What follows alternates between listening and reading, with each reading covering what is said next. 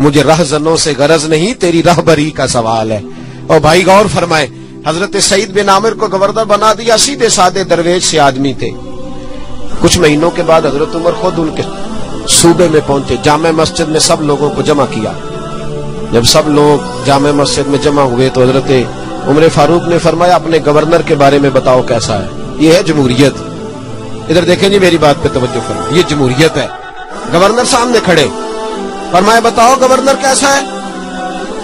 तो लोगों ने कहा, चार शिकायतें हैं गवर्नर साहब से। इसको हज़रत इब्ने जौजी अली रहमान ने नकल फरमाया। चार शिकायतें।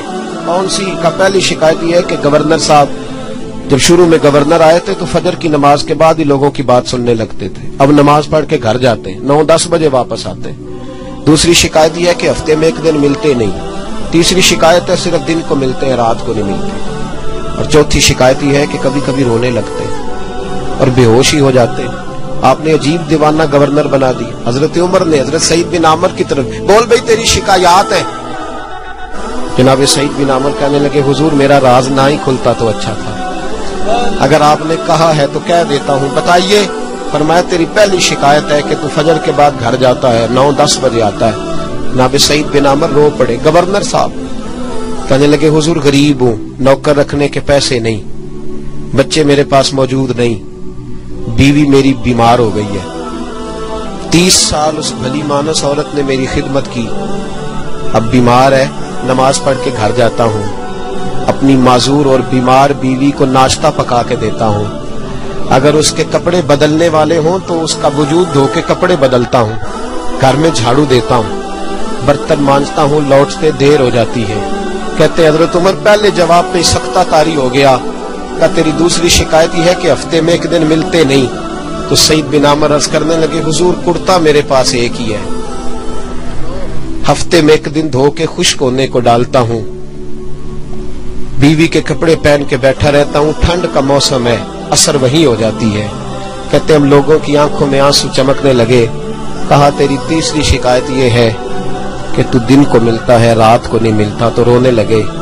दाढ़ी हाथ से पकड़ ली, कहने लगे, हुजूर, देखें, कोई बाल काला तो नहीं ना? सारी सफ़ेद हो गई है। पता नहीं रब करीम कब बुला लेगा। दिन मखलूक के लिए रखा है, रात अपने रब के लिए रखी हुई है। मैं सारी रात उसे मनाता हूँ कि मौला यहाँ पर्दे रखे हैं तो वहाँ भी मेरे पर्दे ही रखना। ऐ अल्लाह, यहाँ तूने वकार दिया है तो वहाँ भी वकार ही देना। और कहा कभी कभी रोते हो और बेहोशी हो जाते हो। कहने लगे, हुजूर, बहुत पुख्ता उम्र में कलमा पड़ा था। चालीस साल का था जब कलमा पड़ा जब चालीस साल के गुनाह याद आते हैं तो रो पड़ता हूँ। सोचता हूँ कि मैं तो एक हफ़्ते का हिसाब नहीं दे सकता। चालीस सालों का कैसे दूँगा? हुजूर फिर मुझसे बर्दाश्त नहीं होता। फिर तड़प जाता हूँ। जब चारों बातें कही तो फिर रोने लगे। कहने लगे, हुजूर, अब मेरी सजा का भी ऐलान कर दे। अब मेरे पर्दे खुले तो सजा की बात भी करें। हज़रत उमर ने हाथ उठाए और कहा, ए अल्लाह, मेरे महबूब की उम्मत को कुछ ऐसे गवर्नर और भी अता फरमा। अपने आप को सवारे, अपने आप पे तवज्जो दे। बड़ा हो गया ख्वाबों की दुनिया में ज़िंदा रहना और लफ्जों और जुमलों की ओट में छुप के अपने आप को मुतमिन करना। अब जरा अमल की दरवाजे की तरफ़ भी अपने कदम बढ़ाए और कुछ काम ऐसे भी करे जो हमारा और हमारे रब का राज हो और सुबह कयामत वो हमारा खजाना, हमारे काम आए। हमेशा मिदहते खैरुल नाम में गुजरे। दुआ है ये उम्र दरूद सलाम में गुजरे। आखिर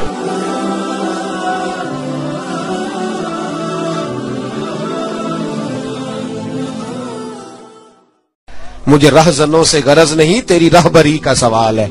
और भाई, गौर फरमाए, हज़रत सईद बिन आमिर को गवर्नर बना दिया, सीधे साधे दरवेज से आदमी थे। कुछ महीनों के बाद हज़रत उमर खुद उनके सूबे में पहुँचे, जामे मस्जिद में सब लोगों को जमा किया।